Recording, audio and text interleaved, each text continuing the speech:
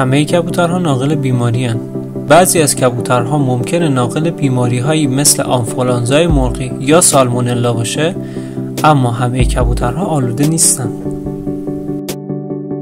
کبوتر یا تخم کبوتر بدشانسی میاره تو بعضی از فرهنگ ها کبوتر و یا تخم کبوتر به عنوان عامل بدشانسی در نظر گرفته میشه و بالعکس تو بعضی از فرهنگ ها کبوتر و یا تخم کبوتر به عنوان عامل خوششانسی در نظر گرفته میشه.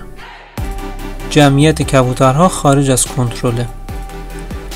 در حالی که جمعیت کبوترها در مناطق شهری به دلیل منابع غذایی فراوان می‌تونه زیاد باشه تعداد اونها به واسطه شکارچیان طبیعی و عوامل دیگه تنظیم میشه. مدفوع کبوتر برای انسان سمیه. مدفوع کبوتر در صورت بل یا استنشاق به مقدار زیاد می‌تونه حاوی باکتری های موزر باشه اما خطر قابل توجهی برای سلامتی نداره. همه کبوترها مهاجرت می‌کنن. بعضی از گونه های کبوتر برای زمستان به جنوب مهاجرت می‌کنه اما بعضی دیگه بسته به زیستگاه و در دسترس بودن غذا در تمام طول سال در یک جا میمونن.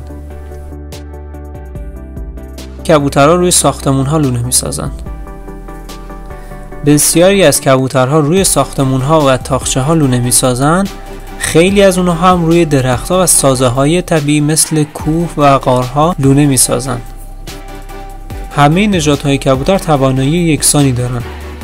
نجات های مختلف کبوتر به صورت انتخابی برای ویژگی های خاصی مثل سرعت یا استقامت برای اهداف مسابقه پرورش داده میشن.